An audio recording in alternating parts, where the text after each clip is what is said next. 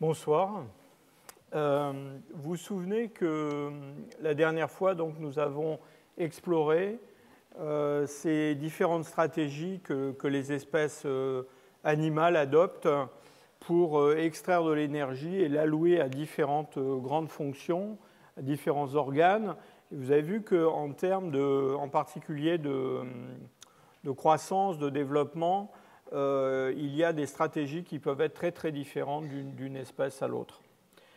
En ce qui concerne l'homme, et, d'une façon plus générale les primates hominoïdes, les grands singes, euh, nous avons affaire à des formes qui sont euh, des formes à grand cerveau, qui ont besoin d'extraire beaucoup d'énergie de leur environnement, qui ont une croissance remarquablement lente, et c'est particulièrement le cas pour l'homme, euh, et qui normalement euh, ont un, taux de.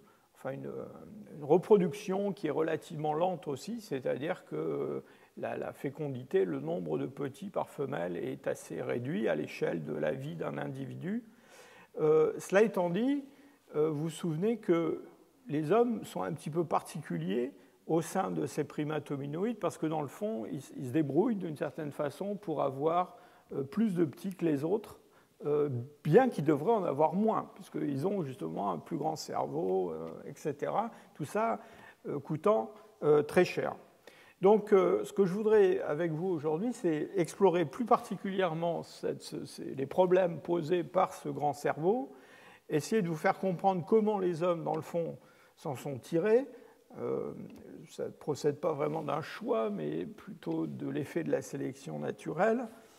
Et puis ensuite, euh, dans la seconde partie du cours aujourd'hui, euh, nous retournerons dans le registre fossile pour, essayer de voir dans le fond comment les caractères dont on a parlé euh, lors de notre dernière rencontre et puis ces caractères qui sont liés au développement du cerveau se sont mis en place au cours de l'évolution des, euh, des hominines, dans la mesure où on est capable de, répondre à cette question. Vous verrez que ce n'est pas, quand même tout à fait évident. Donc, euh, inutile euh, d'insister beaucoup là-dessus. L'homme au sein des mammifères est un, mammifère à, à, grand cerveau. Là, le cerveau humain est là, comparé en taille absolue à différents autres mammifères. Euh, alors évidemment, vous pouvez être impressionné par celui-là, mais c'est une girafe. Donc une girafe, c'est quand même beaucoup plus grand qu'un homme. Euh, et dans toutes ces questions sur la taille du cerveau, il faut évidemment tenir compte de la, euh, de la, de la masse corporelle. en pratique, au sein des mammifères, les, les mammifères qui, d'une certaine façon, se rapproche un peu des hommes, si je peux dire, en termes de coefficient d'encéphalisation, et puis aussi en termes de nombre de neurones, de densité des neurones, etc., c'est plutôt en fait les, euh, des mammifères marins, euh, comme les, dauphins et les, baleines tueuses, des, animaux comme ça. Euh, j'allais dire qu'ils auraient pu très bien réussir aussi, mais malheureusement pour eux, ils, ils n'avaient pas de main ils nageaient, ils sont obligés de nager, et bien que les dauphins puissent utiliser euh, des outils, en fait on connaît des, dauphins qui chassent grâce à des, éponges avec différents petits stratagèmes, mais enfin ils n'ont pas développé une technologie très impressionnante.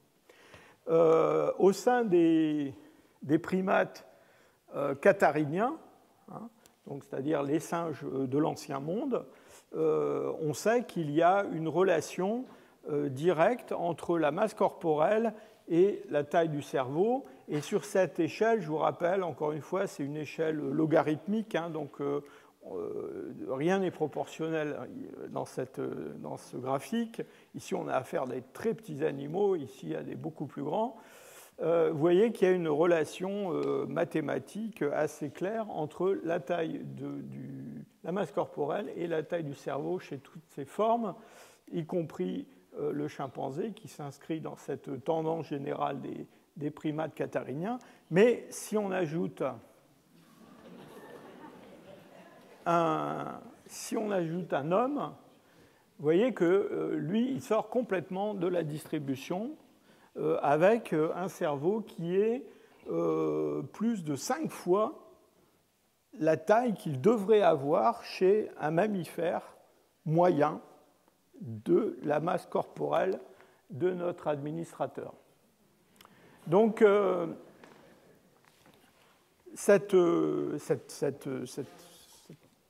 pour ce caractère-là, bien que les hommes s'inscrivent dans une tendance générale des hominoïdes, ils sortent quand même très clairement de la, la distribution. Alors c'est une histoire, euh, cette augmentation de la taille du cerveau, c'est une histoire assez euh, ancienne. Euh, on a jusque vers 2,5 millions et demi d'années des fossiles qu'on attribue au genre Australopithèque ou des formes apparentées comme les paranthropes, dont la taille du cerveau en, valeur absolue est un petit peu supérieure à ce qu'elle est chez des grands singes cela étant dit, chez Grand Singe, il y a beaucoup de, variabilité. Ce qui est important surtout à, considérer dans ce, graphique, c'est qu'il euh, y a euh, vous voyez, une, augmentation très très nette de la taille du cerveau à partir euh, de l'apparition du genre Homo. Donc on va voir chez les, les premières formes du genre Homo des valeurs qui sont très supérieures à ceux des australopithèques et des paranthropes. Et puis le phénomène va s'accentuer euh, avec Homo erectus euh, et puis euh, avec des représentants plus tardifs du genre Homo. Il y a une relation, encore une fois j'insiste là-dessus, il y a une relation entre la masse corporelle et la taille du cerveau. Et en particulier, il y a toute une discussion à propos des Homo erectus pour savoir si c'est parce qu'ils ont une, taille plus grande qu'ils ont un cerveau plus grand, ou si c'est le contraire. Euh, mais en tout cas, ce qui est, important, c'est que, en fait, le rapport, enfin plutôt la relation, parce que ce n'est pas un rapport euh, simple, mais la relation entre la taille, la masse corporelle et la taille du cerveau euh, ne change pas dramatiquement, en fait, chez ces premiers représentants du genre euh, Homo, y compris chez les Homo erectus. Et en fait, c'est essentiellement au cours du dernier demi-million d'années qu'on voit, si je peux dire, le, coefficient d'encéphalisation décoller, c'est-à-dire ce fameux rapport entre la taille attendue du cerveau chez un mammifère moyen, de cette taille, de cette masse corporelle, et puis la valeur observée. Et en particulier, chez les ancêtres euh, des Néandertaliens, chez les ancêtres des hommes modernes, et puis chez aussi d'autres formes asiatiques qu'on appelle les Denisoviens, mais qui sont assez mal euh, documentées pour l'instant, on a cette, euh, augmentation très très forte du cerveau. Et donc, si je peux dire, on, s'attend en fait à ce qu'un certain nombre d'adaptations un peu particulières se mettent en place, peut-être pas avec euh, les premiers représentants du genre Homo ou même les Homo erectus, mais plutôt en fait avec, euh, avec ceux-là, hein, parce que c'est pour eux que ça devient vraiment euh, critique. Alors pourquoi critique? Ben, Parce que je vous ai expliqué la dernière fois que d'être grand, d'avoir un grand cerveau, tout ça c'est balai bon, de vivre très longtemps, mais ça a un prix, et euh, en particulier, ça a un prix énergétique. Le cerveau est un organe qui consomme beaucoup d'énergie euh, pour, des tas de raisons, pour son, fonctionnement, euh, pour son développement, sa croissance, une croissance qui est très coûteuse, on va voir ça dans un instant, et puis même tout simplement pour sa, maintenance, sa, réparation, son entretien, si je peux dire, avec le, fait, par exemple, que le cerveau est un organe qui est très très sensible à la température, donc la, thermorégulation du cerveau, ça sera le sujet d'un autre cours, mais la thermorégulation du cerveau, c'est quelque chose qui est extrêmement contraignant. Euh, si votre main, euh, vous la mettez dans de l'eau très froide ou dans de l'eau très chaude, et que la température de votre main change de 3, 4, 5 degrés, ça peut être désagréable, mais enfin, vous n'en mourrez pas si votre cerveau, sa température augmente de 4 ou 5 degrés, c'est fini, vous serez mort bien avant que euh, cette augmentation de température se produise. Donc ce cerveau, il est constamment irrigué par un flot euh, sanguin euh, qui passe à travers le cou avec tout un, tout un apport d'énergie et encore une fois un système de refroidissement et de réchauffement très efficace. Et il consomme beaucoup d'énergie. Alors, il y a différents chiffres qui, ont été proposés, mais disons d'une façon très simple, on peut dire que le cerveau qui représente à peu près 2% de la taille, de la masse corporelle d'un homme moderne moyen, au repos, sans qu'il se passe rien de très spécial dans le cerveau de cet homme-là, eh bien, euh, son cerveau consomme 20% du métabolisme basal, c'est-à-dire 20% de ce que vous avez euh, consommé au déjeuner ce midi, vous êtes en train de le consommer maintenant pour votre cerveau. J'espère même un petit peu plus si vous écoutez vraiment ce que je dis. Alors cette, euh, consommation d'énergie euh, forte du cerveau chez les adultes, elle est encore plus élevée chez les enfants pendant le développement. Pourquoi? Bah, D'abord parce que les enfants, ils ont un cerveau qui est gros par rapport à leur masse corporelle. Je ne veux pas revenir là-dessus, mais vous vous souvenez que les enfants humains, ils ont un développement qui est séquentiel, hein. c'est-à-dire que, en gros, on investit beaucoup dans le cerveau au début, après on va investir dans les dents, et puis après on va investir dans le développement somatique, donc le corps va grandir, en particulier au moment de l'adolescence, puis après on investira dans la reproduction. Donc au début, c'est une affaire de cerveau.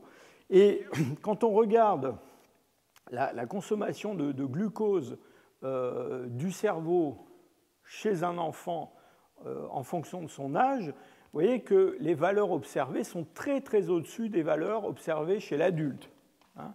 Euh, au lieu d'être autour de 20%, on est carrément au-dessus de 40% du métabolisme basal chez un enfant, avec un pic.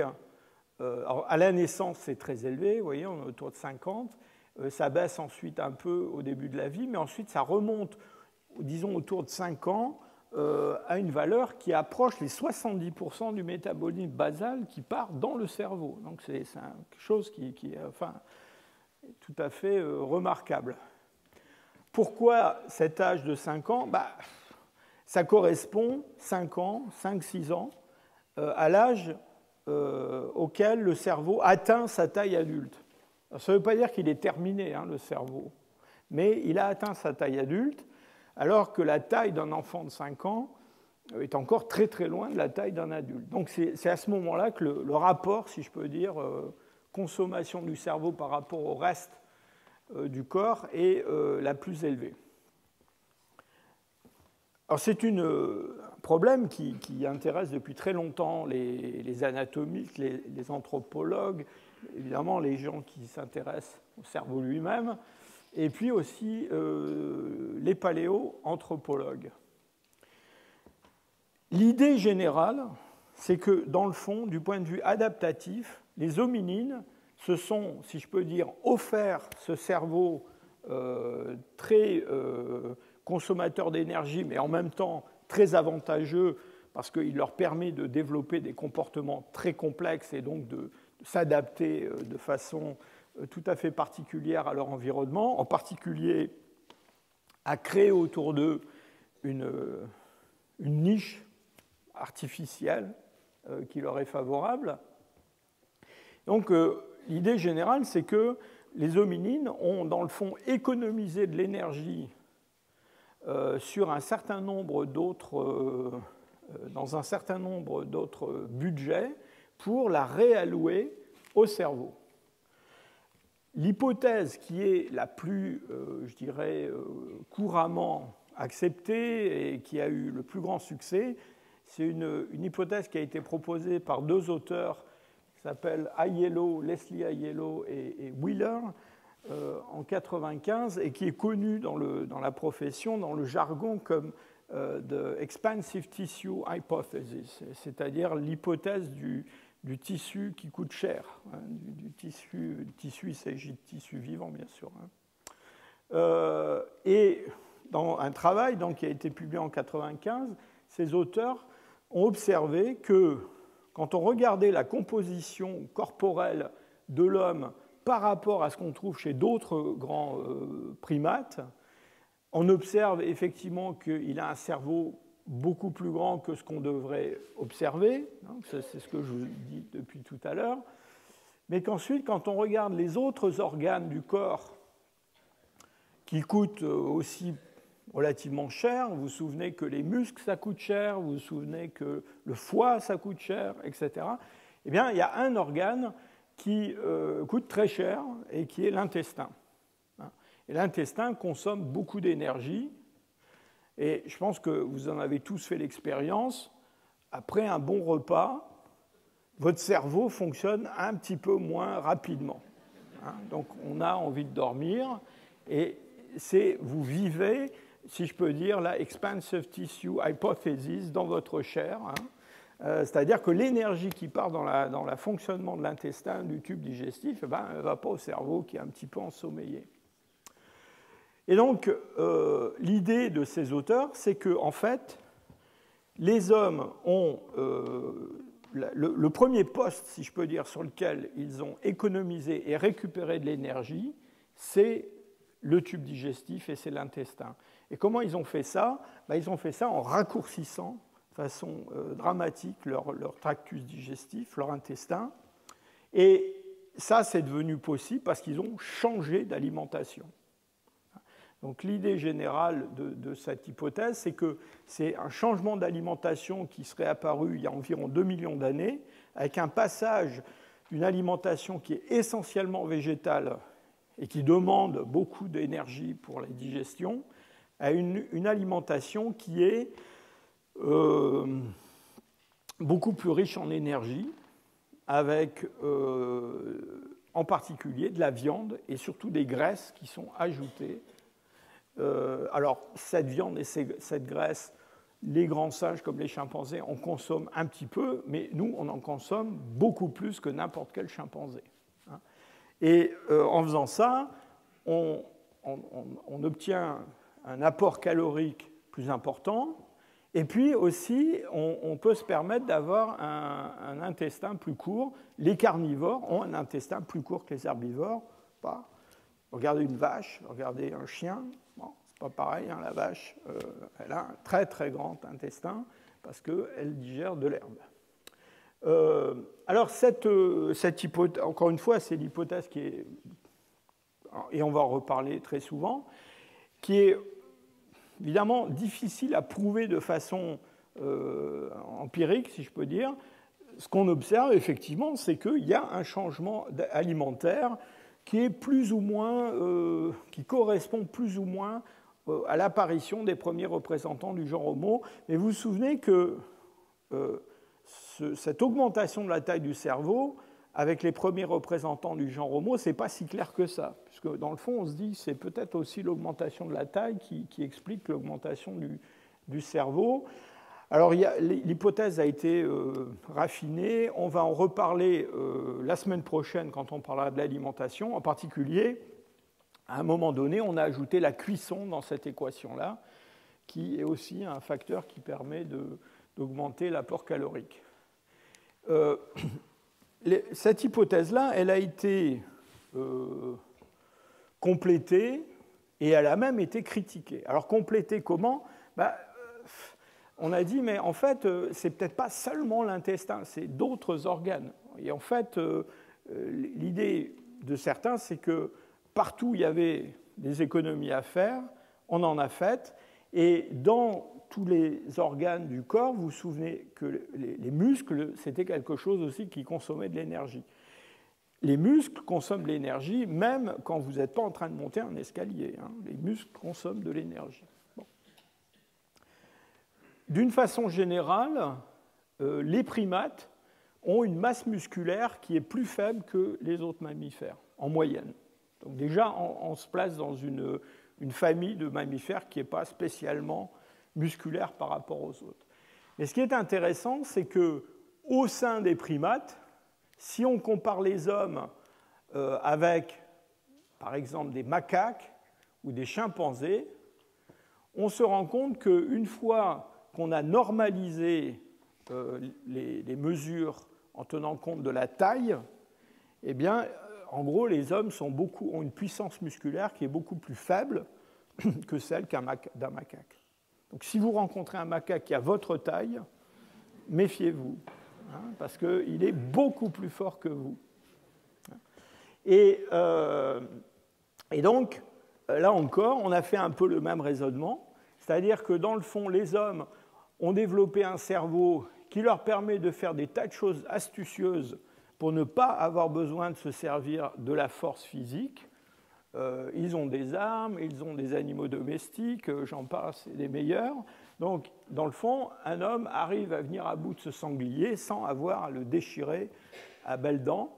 Et, euh, donc, cette économie d'énergie sur les muscles, pareil, comme pour l'intestin, elle a été réallouée au cerveau.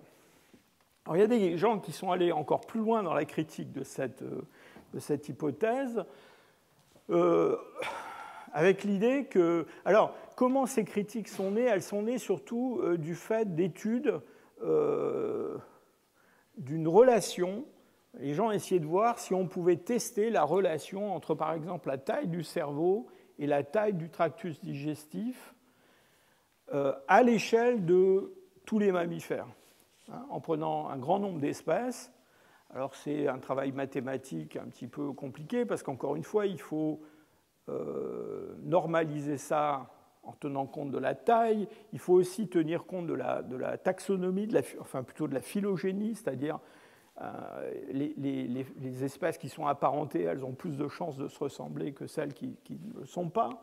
Enfin, une fois qu'on a fait tout ce travail-là, euh, et en particulier, ça a été le travail d'un groupe dirigé par le professeur Karel Van Schaik, en gros, ce qu'ils ont trouvé, c'est que quand on regarde tous les mammifères, bah, ce n'est pas très évident qu'il y ait une relation inverse entre la taille du tractus digestif et la taille du cerveau. Et euh, alors, certainement le fait d'avoir une nourriture euh, riche en énergie, c'est quelque chose d'important. Mais là encore, la nourriture riche en énergie, on peut l'avoir en mangeant des sucres, en mangeant des, noix, des choses comme ça, pas forcément de la viande ou de la graisse. Et donc, euh, euh, ce groupe-là euh, a publié plusieurs articles où, dans le fond, ils ont remis en cause cette idée que c'était une réallocation d'un organe dans un autre qui expliquait le, bilan énergétique humain, mais que c'était plutôt dans le registre des comportements ou des activités qu'il fallait voir ce changement euh, d'économie de, l'énergie. Euh, je vous ai reproduit cette image qui vient d'un article de Navarrete et collaborateur de 2011 qui, résume un petit peu l'idée. Alors l'idée c'est qu'effectivement euh, il faut trouver, une, il faut trouver une, source de nourriture riche en énergie. Donc de ce côté-là, ça se rapproche quand même beaucoup de la, euh, de euh, de l'hypothèse d'Aiello et Wheeler. Mais dans le fond, euh, que l'intestin soit plus long ou plus court, ça ne change pas grand-chose. c'est important de, stabiliser cette ressource en énergie. et ça, c'est en particulier lié au mode de développement des enfants et puis au, coût du cerveau. vous allez voir dans un instant comment on a euh, en quelque sorte euh, sécurisé cet apport d'énergie. Donc on a un apport d'énergie euh, supérieur à ce qu'on trouve chez les autres. et c'est plutôt dans des activités comme la locomotion ou l'investissement que l'on peut faire dans la croissance ou dans la reproduction qu'on peut sauver de l'énergie, la récupérer la réallouer au cerveau. Donc ça, c'est un petit peu la, théorie.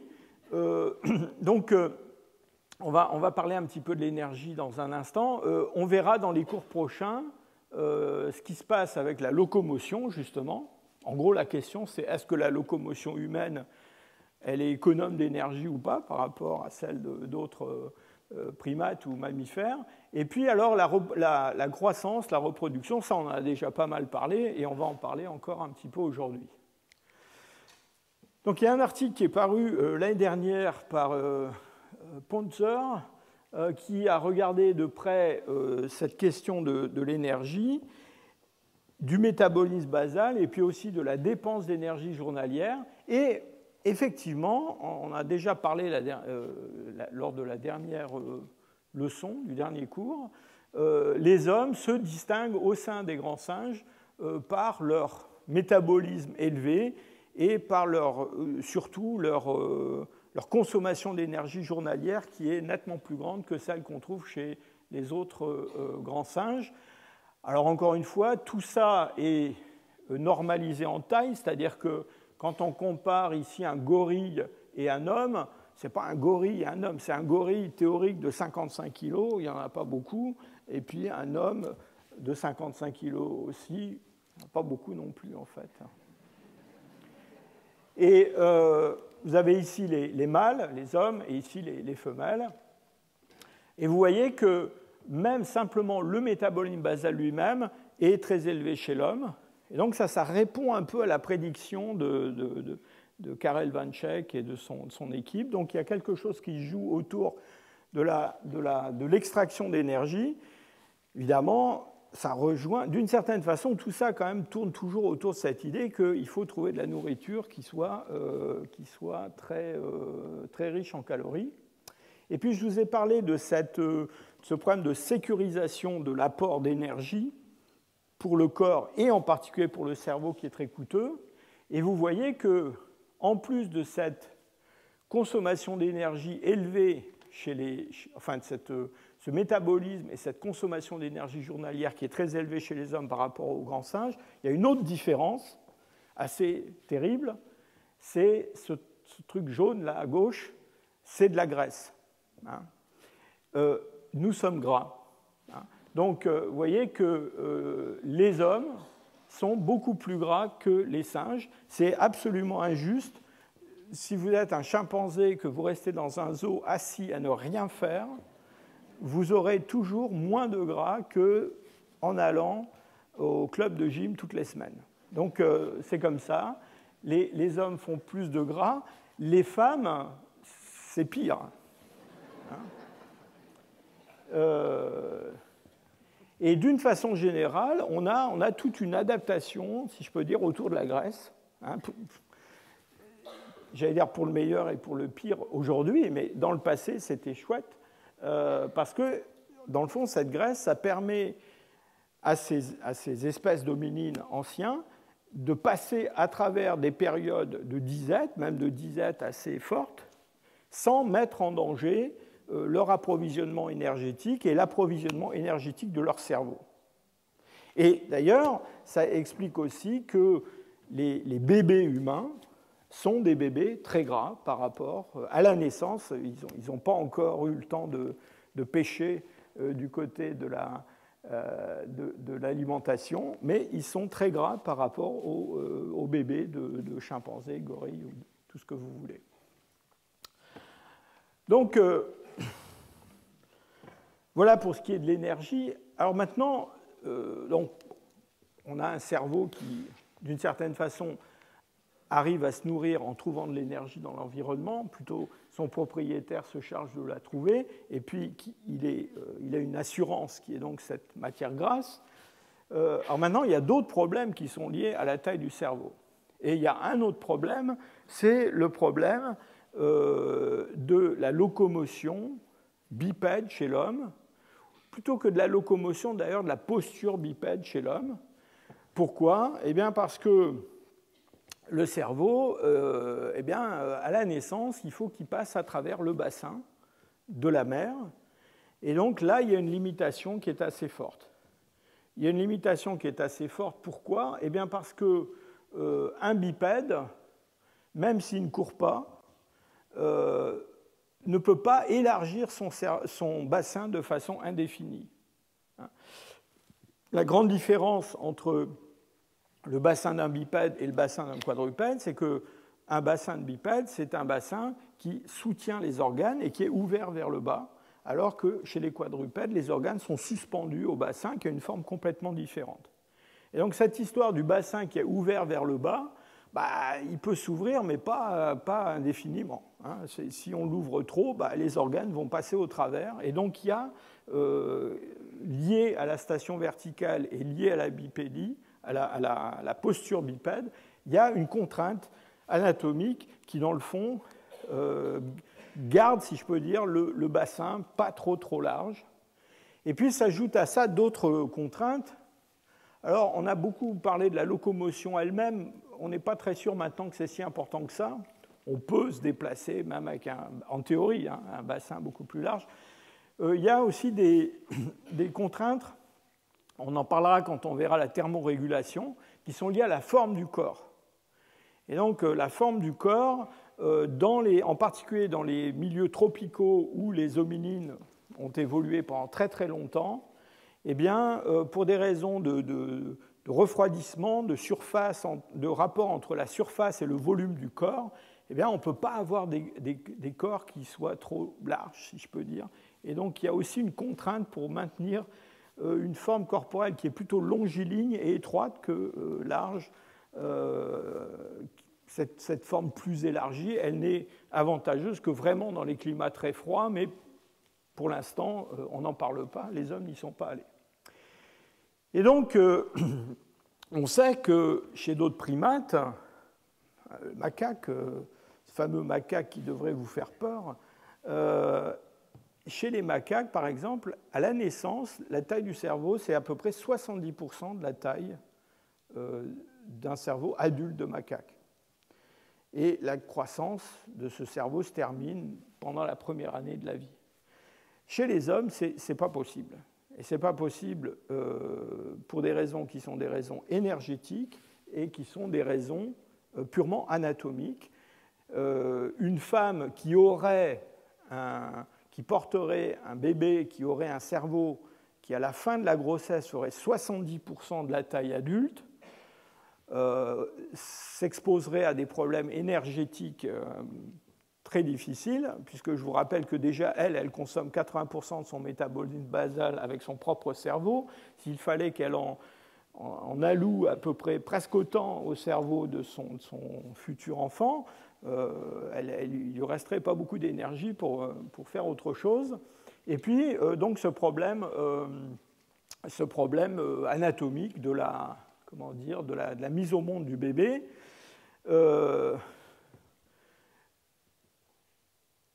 la façon dont on s'en est tiré, on va détailler ça dans un instant, c'est dans le fond en mettant au monde des enfants dont le cerveau est euh, beaucoup plus petit en proportion de la taille adulte que celui de ce macaque dont je parlais tout à l'heure. Mais malgré ça, euh, encore faut-il que euh, ce, cette tête de ce bébé passe à travers le bassin de la mer. Et il y a toute une adaptation chez les hommes qui est tout à fait originale, qu'on n'a pas chez les autres primates, avec, on va en reparler tout à l'heure, mais avec un passage de la tête du bébé dans ce qu'on appelle le détroit supérieur, euh, qui est dans une orientation transversale, et puis ensuite une rotation de la tête avec le bébé qui sort euh, avec la, tête qui n'est plus en position transversale, mais qui est au contraire dans une position euh, longitudinale. Donc cette, cette, mise au monde rotationnelle, si je peux dire, du bébé, c'est un caractère humain et on pense que c'est probablement apparu euh, assez tardivement dans l'évolution humaine. Vous vous souvenez, ces derniers 500 000 ans où on a cet accroissement de la taille du cerveau adulte, c'est probablement là que ça joue. Donc je reviens sur la question de la, taille du cerveau à la naissance. Il y a ce, paradoxe, c'est que les hommes qui sont euh, les primates qui ont le cerveau le plus grand à l'état adulte sont euh, les primates qui ont, en proportion de la taille adulte, le cerveau le plus petit à la naissance.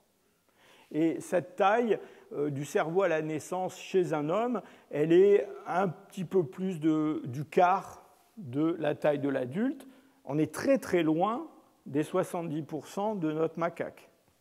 Et on est même très très loin de ce qui se passe chez un chimpanzé, où on a euh, une taille qui est à peu près de l'ordre de 40%, un petit peu plus parfois, de la taille adulte.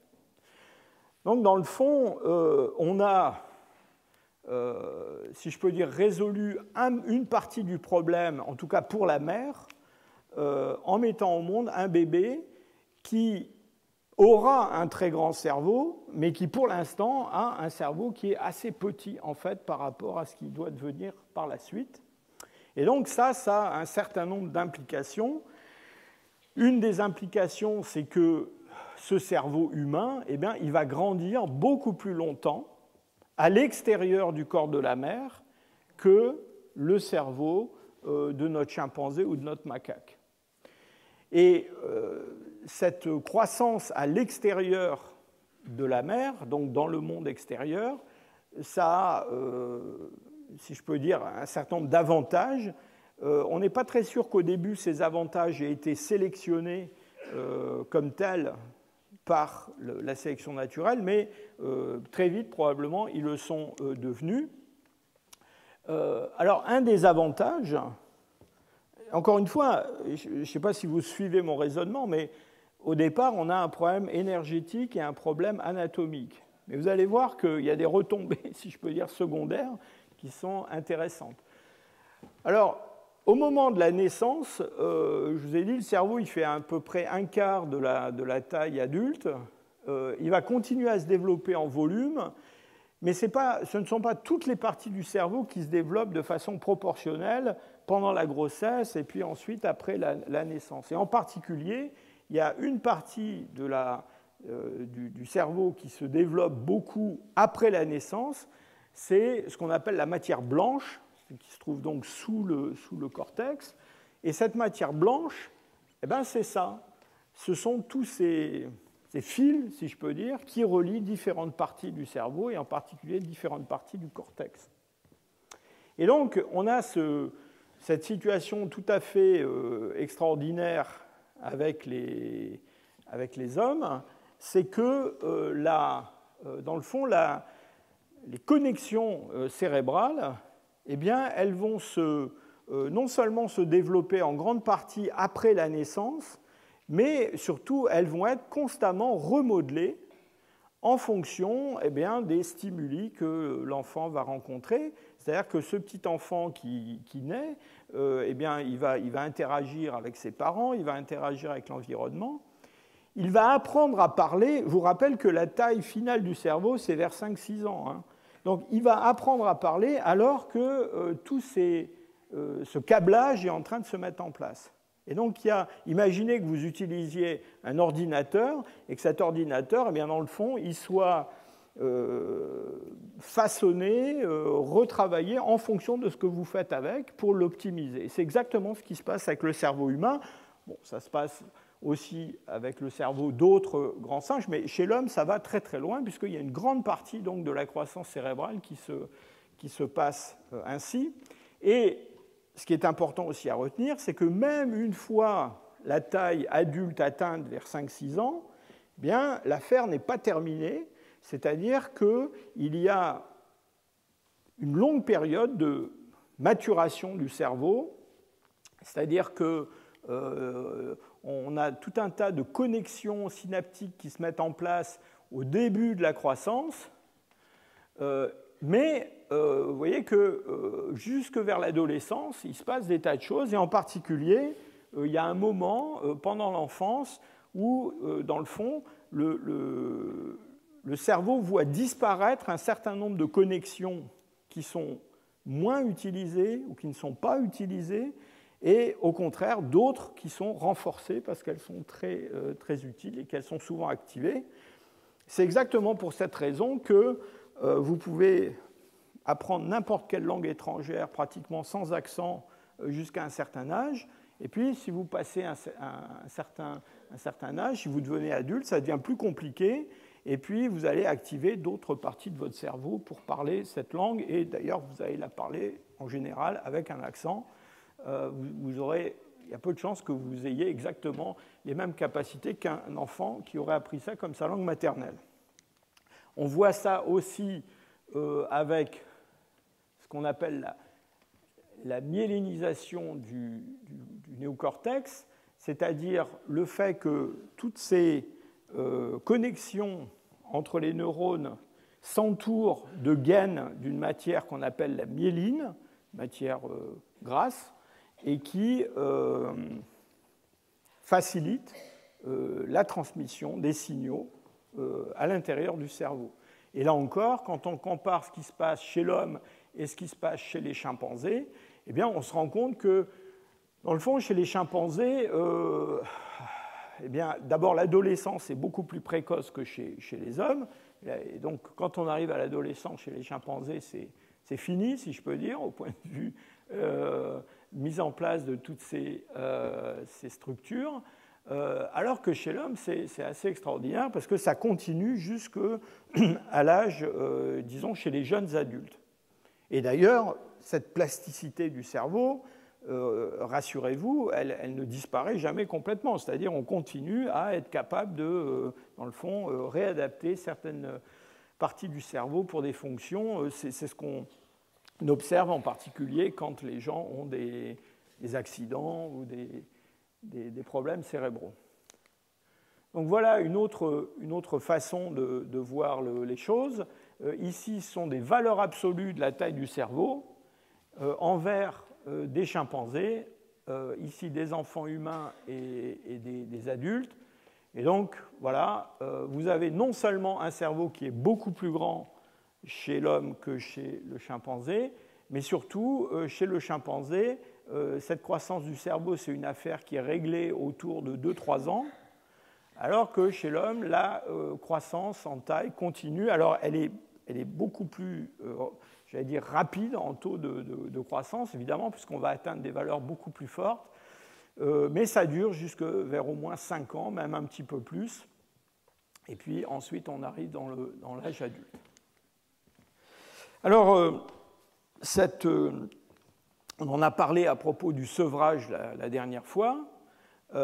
cette situation de mettre au monde des enfants avec un cerveau qui n'est pas fini du tout, euh, et qui, dans le fond, au moment de la naissance, consomme beaucoup moins d'énergie que ce qu'il va consommer plus tard, autour de 5-6 ans, eh bien, euh, euh, ça, présente aussi un, autre avantage qui est ce que l'on appelle la, la, reproduction coopérative chez les hommes. Alors, qu'est-ce que ça veut dire la reproduction coopérative? Ça ne veut pas dire qu'on se met à plusieurs pour faire un enfant, mais ça veut dire que, dans le fond, une fois que, l'enfant euh, est sevré par sa mère, et ça, vous vous souvenez que ça arrive beaucoup plus jeune chez les hommes que chez les autres euh, grands euh, primates, eh bien, dans le fond, ces enfants, ils peuvent être pris en charge par d'autres adultes, en partie en tout cas. Et donc, on a des échanges d'énergie avec des contributions par euh, le père, euh, les, grands-parents. On a beaucoup parlé des grands-mères la dernière fois. On va, finir avec ça aujourd'hui encore. Euh, et donc ça, c'est un caractère assez particulier aux hommes et qui explique le fait que d'abord, une femme peut avoir plusieurs enfants d'âge différents en même temps. Et si je peux dire, elle peut s'offrir ça parce qu'il bah, y en a d'autres qui les nourrissent, les enfants. D'accord? Et surtout qu'ils les nourrissent à une époque où euh, leur cerveau est encore en construction et demande beaucoup d'énergie pour être euh, euh, terminé. et donc, c'est sans doute cet ensemble d'adaptations qui explique que les hommes sont des grands primates, qui ont un grand cerveau, et eh ben, même beaucoup plus gros que celui des autres grands primates, arrivent quand même à avoir une fécondité plus élevée que ce qu'on observait chez les chimpanzés, chez les gorilles, avec en particulier un intervalle entre les naissances qui est plus court. Et, donc, euh, c'est un petit peu l'explication de ce paradoxe humain. Et ça a évidemment des, conséquences sur le plan comportemental, sur le plan de la complexité sociale, même sur le plan euh, psychologique, j'en ai parlé dans d'autres cours, mais euh, les sociétés humaines, avec ce mode de reproduction-là, par définition, sont des sociétés de partage. Il n'y a pas d'autre moyen d'avoir des enfants. Hein. Euh, et donc, si on regarde la consommation d'énergie par un chimpanzé tout au long de sa vie, on a une courbe qui ressemble à ça. Et si on compare cette courbe à sa production d'énergie, c'est-à-dire ce qu'il extrait de l'environnement, eh ben, c'est la même courbe. Hein. C'est-à-dire ce chimpanzé, quand il est sevré par sa mère, au début il y a une petite différence parce qu'il est allaité, mais dès qu'il va être sevré par sa mère, eh bien, il va se débrouiller tout seul et il va manger ce qu'il trouve et ça va remplir ses besoins énergétiques. Alors que chez les hommes, cas, les courbes que je vais vous montrer, c'est pour des chasseurs-cueilleurs, mais euh, c'est vrai aussi pour des, euh, sociétés euh, industrielles, évidemment. voilà la consommation d'énergie par un, petit enfant, enfin un, enfant et puis ensuite un adulte tout au, tout au long de la vie. vous voyez que la consommation d'énergie, elle est beaucoup plus élevée. Donc rappelez-vous ce que je viens de vous montrer, l'étude de Ponzer. Hein. donc on consomme plus d'énergie que les autres. Mais surtout, ce qui est très important, c'est que la production, c'est-à-dire l'extraction d'énergie de l'environnement, c'est une courbe complètement différente. Hein. Et donc, euh, disons, jusqu'à la fin de l'adolescence, euh, les hommes sont des euh, consommateurs nets. Ils, ne, ils, ne, produisent pas autant que ce qu'ils consomment.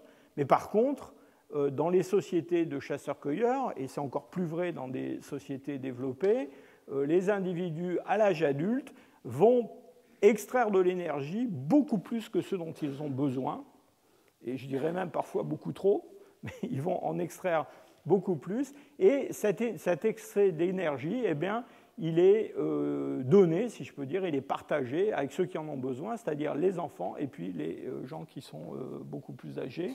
Et là, à nouveau, la courbe s'inverse à partir d'un certain âge.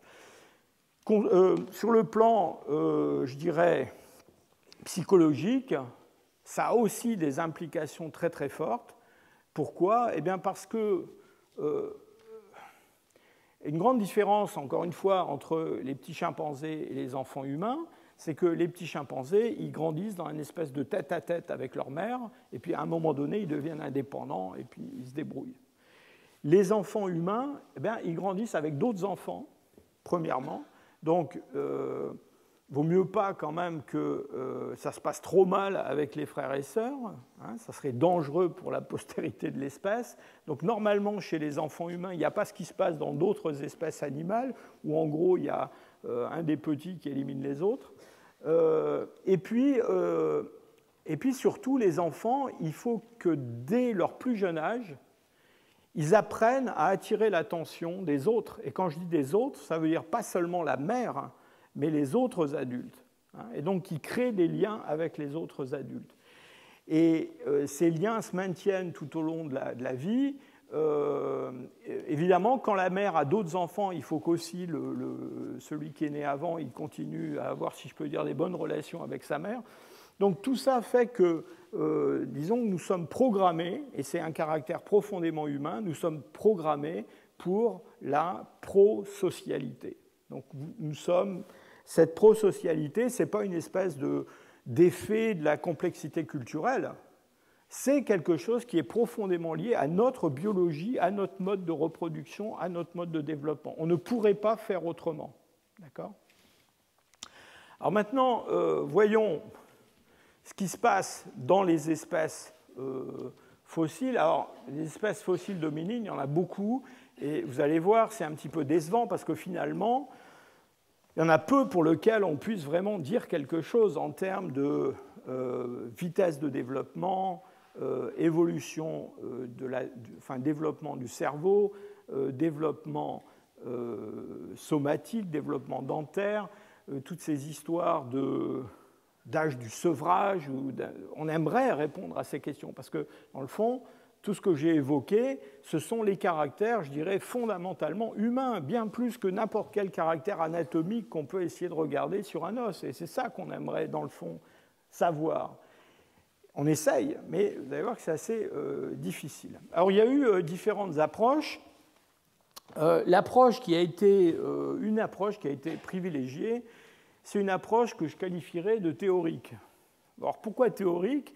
Eh parce qu'en se fondant sur ces, théories d'histoire de, vie, hein, ce que je vous ai expliqué longuement la dernière fois, c'est-à-dire le fait que dans le fond, il y a des relations, hein, des compromis qui doivent se faire entre différents euh, paramètres biologiques, et qu'on peut construire toutes sortes de courbes qui relient par exemple la taille du cerveau avec l'âge à la première reproduction, ou la masse corporelle, pareil, avec la, longévité ou la maturité sexuelle. Donc tout, ça, ça marche. Hein. Il y a des relations entre toutes ces choses-là. Et on sait que les, gros, les grosses bêtes, les gros mammifères, euh, c'est vrai aussi pour les gros cerveaux, eh vivent plus longtemps, ont une maturité sexuelle plus tardive, etc. etc. Le problème de cette approche-là, c'est que euh, c'est quand même un peu, je dirais, à la serpe. Hein. Qu'est-ce que je veux dire par là? Eh bien, toutes ces courbes qu'on publie très souvent, encore une fois, ce sont des courbes qu'on présente dans des euh, diagrammes qui sont des diagrammes logarithmiques. Et ça veut dire que, euh, évidemment, tous ces points semblent très très proches sur le graphe, mais en fait, en gros, euh, quand on parle par exemple de, de, la taille, vous voyez, ici on a un gorille, et puis là, ici on a un animal qui est gros comme une, grosse souris. Hein. Donc il y a des différences euh, très très fortes quand on se déplace le long de ces échelles-là. Et le problème, c'est que ces outils mathématiques-là ont un pouvoir prédictif qui est très faible. Euh, concrètement, euh, vous voyez ici, il y a des, hommes qui sont représentés sur la, sur la courbe. on peut y mettre, là vous avez le chimpanzé, vous voyez que dans le fond, ils ne sont pas très loin l'un de l'autre hein, sur cette courbe. Et donc ça veut dire quoi? Ça veut dire qu'autour de la courbe, il y a une certaine variance, hein. mais pratiquement, imaginez que vous êtes un extraterrestre, vous arrivez sur Terre et vous avez la courbe dans la poche et vous trouvez un homme sans tête. Et la question, c'est est-ce que vous allez pouvoir prévoir la taille de son cerveau? Bah, La réponse, c'est non. La réponse, c'est vous allez, évidemment, vous allez trouver qu'il a probablement un cerveau assez gros, mais est-ce qu'il est plutôt de la taille d'un gros chimpanzé ou est-ce qu'il est trois fois plus gros? Ça, ce n'est pas possible de répondre parce qu'en fait, on va être toujours autour de cette courbe. Hein. Euh, donc c'est assez euh, difficile de faire ce genre de prédiction. Mais il y a des gens qui s'y sont quand même amusés. Euh, voilà un, grand, enfin un chercheur qui a beaucoup publié sur ces théories d'histoire de, vie, qui a essayé de faire des prédictions sur, dans le fond, ce qui se passait euh, chez euh, un Australopithèque, un Homo erectus, euh, enfin un Homo habilis, un Homo erectus ancien, récent, un Homo sapiens. tout ça est, bel et bon, mais dans le fond, on n'est pas très très sûr que ça, que ça veuille dire grand-chose. Et ce qu'on voudrait, c'est avoir des données empiriques. Alors, les données empiriques, c'est beaucoup plus difficile à acquérir. Le premier, euh, comment dire, le premier euh, outil que les anthropologues ont utilisé pour analyser le développement, c'est euh, le développement dentaire.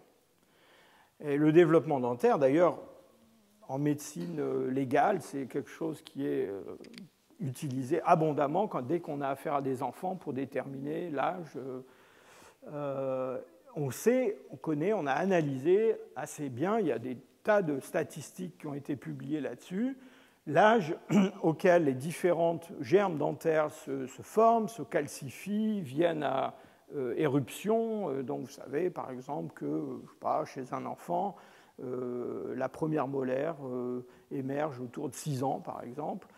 et puis la dent de sagesse, c'est beaucoup plus tard, c'est plutôt vers 16-18 ans, même parfois jamais, mais enfin en tout cas c'est assez tardif. Donc on a, des chiffres et euh, on a aussi des comparaisons entre ce qui se passe chez les hommes et ce qui se passe dans d'autres espèces. Par exemple, ici, cette comparaison homme-chimpanzé. Et on sait que entre l'homme et le chimpanzé, il y a des différences d'âge, de formation et d'éruption de ses dents, mais aussi il y a des différences dans, dans l'ordre d'éruption de ses dents. Et par exemple, si vous regardez euh, l'ordre dans lequel la canine et la seconde molaire euh, se enfin, viennent à éruption euh, chez un chimpanzé et chez un homme, c'est assez différent. Chez un homme, la canine, c'est un petit enfant, ces canines permanentes vont venir d'abord et sa seconde molaire beaucoup plus tard. Chez les chimpanzés, c'est le contraire. Vous voyez que la, canine vient à éruption presque à l'âge de la, dent de sagesse, de la troisième molaire. Alors le, problème d'utiliser cet outil-là, c'est que euh, c'est assez facile d'étudier le stade de développement dentaire, c'est assez facile de comparer l'ordre de formation des dents dans différentes espèces, de voir si c'est plutôt humain ou pas humain. Mais c'est quand même assez difficile d'utiliser ça pour produire des âges calendaires, c'est-à-dire des âges réels. Parce qu'évidemment, euh, qu'est-ce qui se passe si dans une espèce déterminée, euh, la formation dentaire est exactement comme chez l'homme actuel, sauf que ça va beaucoup plus vite ou beaucoup plus lentement. Donc on n'a pas de moyen de, mesurer ça. Alors c'est très embêtant. Euh, c'est très embêtant parce qu'en fait, on s'est rendu compte depuis longtemps que ces formations, euh, la formation dentaire, euh, c'est quelque chose qui est très lié à d'autres paramètres du développement. Et là encore, on a fait beaucoup d'études là-dessus. En particulier, euh, il y a une chercheuse américaine qui s'appelle Holly Smith, qui a publié en 89 un tableau qui est très très connu et qui met en relation l'âge euh, d'éruption dentaire, par exemple la, première molaire, euh, ou, la, fin de la formation de la dentition complète, avec d'autres paramètres comme la durée de la gestation, l'âge euh, comment dire, l'âge de, la maturité sexuelle ou des choses comme ça. Et vous voyez quoi? Vous voyez par exemple que l'éruption de la dent de sagesse, la troisième molaire, ça a une corrélation de 0,97, c'est-à-dire c'est presque 1 avec l'âge de la maturité sexuelle. Donc, euh, ça serait formidable, dans le fond, si on avait l'âge de l'éruption de la M3 chez tout un tas de créatures, parce qu'on parce qu'on considère que c'est l'âge de la maturité sexuelle. Quand on a sa dent de sagesse, c'est là qu'on peut se reproduire. Alors c'est vrai pour d'autres caractères dentaires. Euh, par exemple, euh, alors la, corrélation est un peu moins élevée, 0,93, mais l'éruption de la M1, l'âge, je vous rappelle que c'est 6 ans chez un homme actuel, grâce à ça, on peut prédire l'âge de la première reproduction chez les primates. Hein. Donc euh, ça, ça, marche très bien. Alors comment on s'en est tiré? Eh bien, on s'en est tiré en restant sur cette idée que les dents, c'est dans le fond le meilleur euh, outil qu'on a, la formation dentaire, pour faire des prédictions sur des, euh, paramètres du développement, euh, on est allé voir à l'intérieur des dents les tissus dentaires eux-mêmes pour voir comment ils se formaient. Et qu'est-ce qui se passe si on prend une dent, ici c'est un germe d'une incisive, donc qui n'est pas usé, hein, qui est encore à l'intérieur du maxillaire, si on l'agrandit énormément, on voit à la surface des lignes, et ces lignes, qu'on appelle les périchimaties, ce sont en fait l'émergence à la surface de la dent de couches d'émail qui se forment à un rythme qui est un rythme euh, que l'on a essayé de déterminer.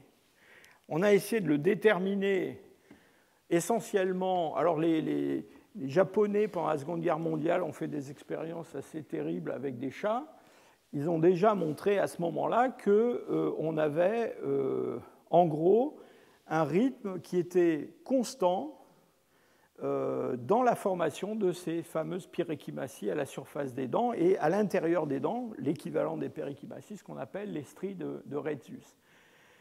On a pu, sur des primates aussi, mettre en relation la formation de ces, couches d'émail dentaire avec, par exemple, euh, l'injection de produits, par exemple, de traitement à certains animaux. Et grâce à ça, on a pu réellement compter, parce qu'on avait la date de moment de ce traitement, on a pu compter vraiment en jour euh, le rythme de formation de ces structures.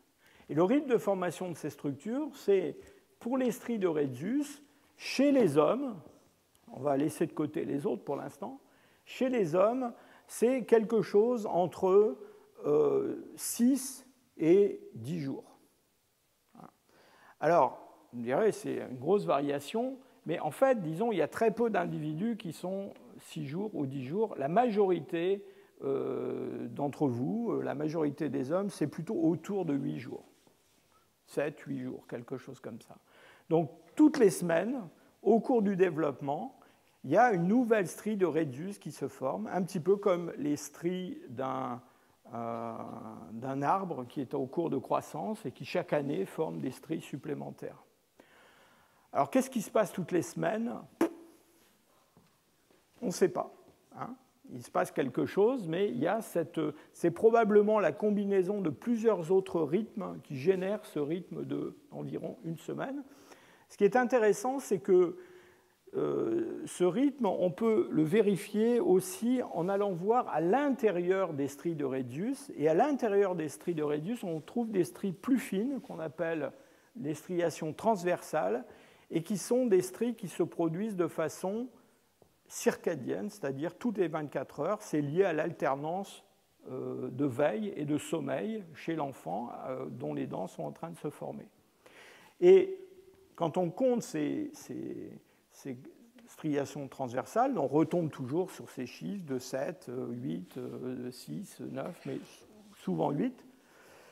Euh, euh, ce qui est remarquable, c'est que s'il y a des, quelques variations d'un individu à l'autre, à l'intérieur d'un individu, c'est quelque chose qui est stable. C'est-à-dire si vous êtes si je peux dire, un enfant à 8 jours de, périodicité pour les stries de Redius, toutes vos dents vont être comme ça. Y a pas, ça ne change pas au cours de la croissance. C'est quelque chose qui est, qui est, stable. Ces stries, d'autre part, enregistrent euh, des événements qui sont des événements euh, qui représentent des stress biologiques pour euh, l'enfant au cours de sa croissance. C'est-à-dire que si l'enfant a une, un accident, une fracture, une maladie infectieuse, un épisode de famine, euh, quelque chose comme ça qui se passe au cours de son développement, eh bien, comme dans les stries euh, qui se produisent dans notre, notre, arbre en cours de croissance, eh l'année de la sécheresse ou l'année de l'hiver très rude, il va y avoir une strie qui va être marquée de façon euh, particulière, qui va être plus étroite par exemple, pour le bois qui se produit en été s'il n'y a pas assez d'eau. Et donc on trouve certaines de ces, de ces stries, ces, marques de stress, ce qui permet de corréler, plutôt de caler le développement d'une dent sur la dent suivante, parce qu'on retrouve euh, la même succession d'épisodes de stress. Et on trouve ça dans l'émail dentaire, on trouve ça aussi dans la dentine qui, est, euh, qui se construit en dessous. Et alors, il y a une euh, comment dire, une, ligne de stress qui est tout à fait euh, particulière, qu'on appelle la ligne néonatale, eh bien, c'est la ligne qui, se, qui, est marquée le jour de la naissance. Alors, le jour de la naissance, on a déjà des germes dentaires qui sont en train de se développer. Hein. La, première molaire dont je parlais tout à l'heure, qui va sortir à 6 ans, à la naissance, ça fait déjà trois semaines qu'elle est en train de, de commencer à se développer. Et comme la naissance, bah, c'est un stress, c'est un stress pour la mère, mais c'est aussi un stress pour le bébé, eh bien, on va trouver dans la première molaire de, vous tous, là, si on la prenait, qu'on la coupait, qu'on regarde, la mettait sous un microscope, on trouverait à peu près trois semaines après le début de sa formation, il s'est passé quelque chose, et ce quelque chose, eh ben, c'était votre naissance. D'accord? Donc on peut, grâce à ça, trouver une ligne qui marque le jour de la naissance et ensuite compter des jours de développement sur une dent, trouver une ligne de stress, repérer cette ligne de stress sur la dent suivante et aller comme ça de proche en proche jusqu'au jour de la mort de cet enfant, parce qu'évidemment tout ça c'est très utile pour établir l'âge et la vitesse de développement des enfants, mais une fois que leur denture est terminée, il n'y a plus moyen de savoir quoi que ce soit, puisque ensuite elle ne va plus euh, être modifiée. Alors on a euh, beaucoup travaillé sur ces, techniques-là au cours des dernières années. On a travaillé d'abord en faisant de l'histologie, c'est-à-dire en coupant des dents, et puis plus récemment en utilisant de l'imagerie virtuelle et en particulier euh, en utilisant des synchrotrons. je vous ai mis ici une photo du synchrotron européen qui se trouve à Grenoble. Alors, vous voyez que ce n'est pas une petite machine, hein. c'est un, c'est un anneau dans lequel on a des électrons qui tournent et on peut distraire un faisceau qu'on utilise comme un espèce de, de, scanner, si vous voulez, de, très grande précision, qui produit une lumière qui est presque cohérente, qui est monochrome, enfin je ne rentre pas dans les détails techniques, mais qui a une capacité à visualiser ces microstructures sans couper ou détruire la dent, qui pour des fossiles est extrêmement précieux.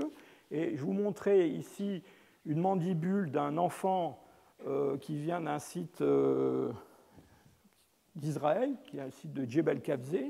Et donc il s'agit d'un enfant euh, d'Homo sapiens, d'homme moderne ancien, si vous voulez, on peut virtuellement aller extraire un bout d'émail de cette, de, cette, de cette, dent, et vous allez voir, euh, on, peut visualiser les prismes d'émail, et avec des techniques particulières, eh bien, on va pouvoir visualiser ces striations et faire apparaître les stries de Redius et les cross striations, les, euh, striations transversales. Et donc on peut, avec un fossile comme ça, sans le détruire, en allant virtuellement à l'intérieur, euh, ben dans le fond, établir de façon très très précise euh, son âge à la mort et sa vitesse de développement.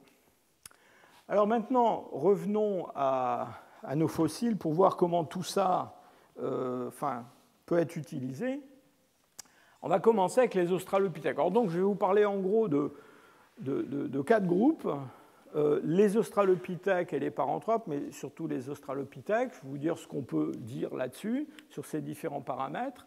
Ensuite, on ira voir euh, les premiers représentants du genre Homo, les Homo erectus. Ensuite, euh, des formes du Pléistocène supérieur, les Néandertaliens, puis on dira quelques mots des hommes modernes.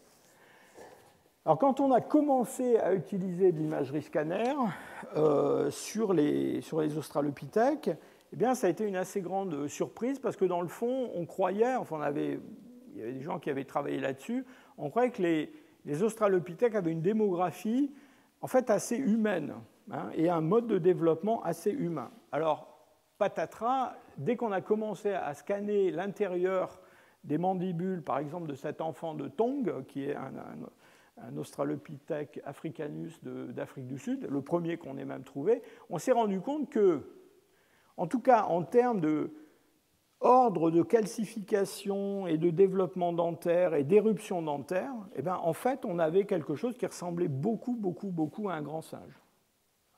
Alors, il y avait d'autres différences hein, dans, ce, dans, ces scanners, mais en tout cas, pour ce qui est de l'ordre, c'était plutôt grand singe. Et donc là, euh, on s'est dit que, en fait, peut-être que ces australopithèques étaient encore avec un schéma de développement qui était beaucoup plus proche disons, d'un chimpanzé euh, ou d'un gorille que celui d'un homme.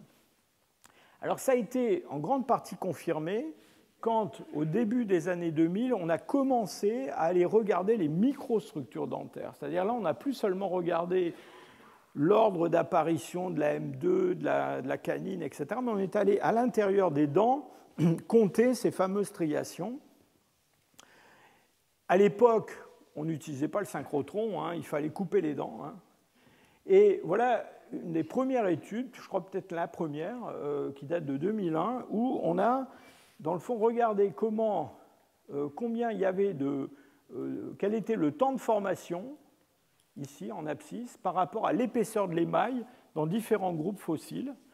Et vous avez ici à gauche, en rouge, des australopithèques, comparés à des grands singes en vert et à des hommes actuels en bleu.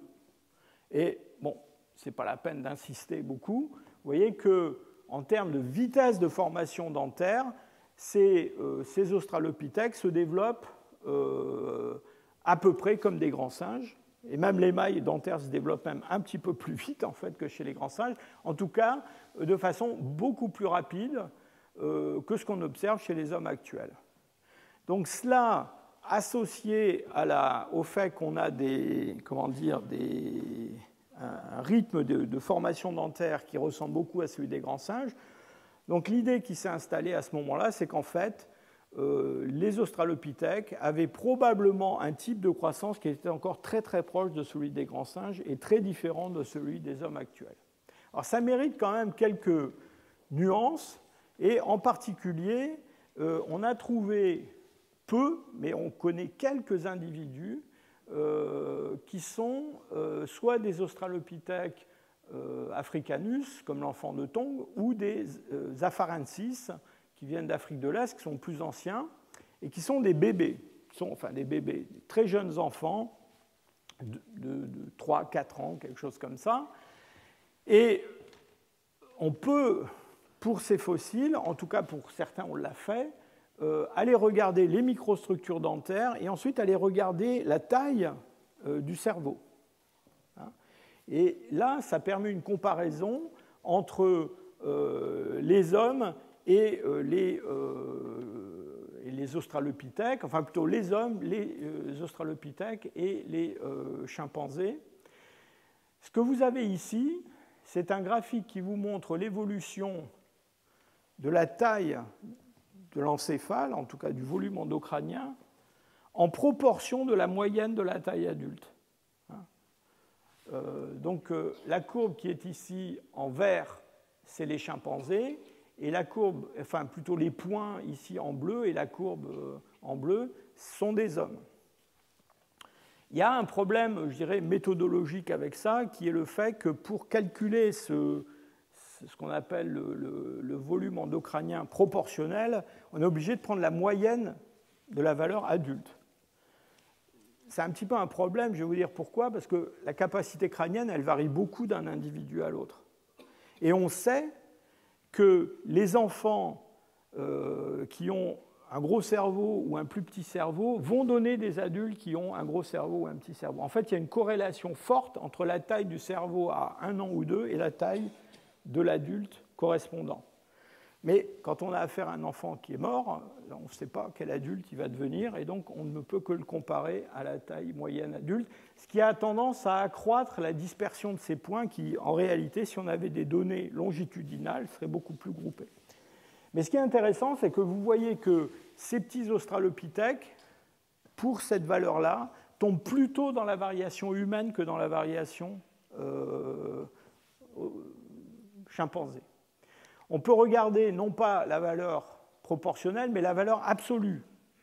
Et là, vous voyez que euh, ici, on a des hommes, ici, on a des gorilles en rouge, et puis ici, en vert, on a des chimpanzés. Alors, vous voyez qu'on a des australopithèques, des bébés australopithèques, qui tombent en valeur absolue dans les, valeurs chimpanzés, quand ils ont 2, 3, 4 ans, et puis euh, qui, quand on regarde cette valeur proportionnelle, dans la variation humaine.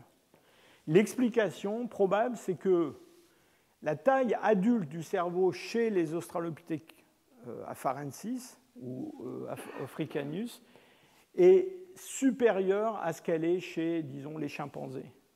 Pas très supérieure, mais elle est supérieure de 15%, quelque chose comme ça. Et donc, en fait, ce qu'on pense, c'est que effectivement, ils ont un mode de croissance qui est un mode de croissance un petit peu de type grand singe, mais leur cerveau va continuer à grandir un peu plus longtemps que ce qui se passe chez euh, les chimpanzés ou les gorilles. Donc vous voyez que là, on a, c'est intéressant parce que ça nous montre qu'on on a un, attendez, il faut revenir là-dessus. Oui, ça nous montre qu'on a euh, un, pattern général qui est donné, mais euh, qui, dans le fond, ne correspond ni vraiment à un modèle grand singe, ni vraiment à un modèle humain, qui est entre les deux, mais beaucoup plus près du, modèle grand singe.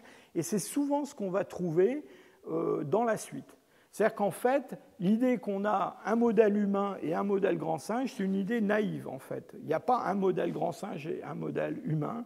Il y a probablement des modèles grand singe et des modèles humains, en tout cas des modèles hominines. Et dans le fond, les hominines du passé ont chacun eu leur propre mosaïque de caractères. on peut regarder un autre euh, caractère chez les australopithèques qui est cette, euh, euh, ce problème de la mise au monde des petits et en particulier de l'ajustement entre le, le bassin et puis la taille du crâne du nouveau-né. Et on a, en tout cas, au moins deux bassins d'Australopithèque qui sont assez bien conservés, donc on peut faire des reconstitutions comme celle-là. On en reparlera quand on, regardera la locomotion. Vous voyez que la forme du bassin chez un Australopithèque est quand même très différente de ce qu'on a chez un homme actuel, avec une expansion euh, latérale. Vous voyez que l'ouverture du bassin, là, le, passage par lequel le crâne euh, du nouveau-né va devoir passer, c'est une ouverture qui est euh, orientée transversalement et qui ne ressemble pas à une ouverture beaucoup plus globulaire comme chez une femme actuelle. Et donc, euh, ce qu'on a chez l'homme actuel, je vous le rappelle, c'est un passage dans ces détroits successifs, le détroit supérieur, le détroit moyen, le détroit inférieur, avec une rotation de la tête chez euh, les chimpanzés et chez les australopithèques, on pense qu'on n'a pas cette rotation qui est quelque chose qui est apparu plus tardivement dans l'évolution humaine, euh, avec chez les, euh, grands singes, enfin chez le chimpanzé, une orientation qui est une orientation longitudinale de la tête pendant tout le passage d'un détroit à l'autre, euh, et au contraire chez les australopithèques, une orientation transversale de la tête. Alors passons maintenant au premier représentant du genre Homo, et Concrètement, c'est essentiellement euh, des Homo erectus anciens qui ont été étudiés. Toujours la même étude de Dean, euh, qui était vraiment une étude pionnière en 2001. Même genre de, schéma que ce que je vous ai montré tout à l'heure.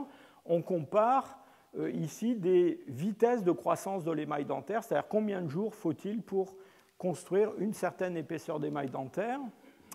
Et là, ce qui est assez surprenant, c'est qu'à nouveau, on va trouver nos premiers représentants du genre Homo, ici en noir, associés aux grands singes et non pas associés aux hommes actuels. Les hommes actuels, je vous rappelle, ils sont là en violet.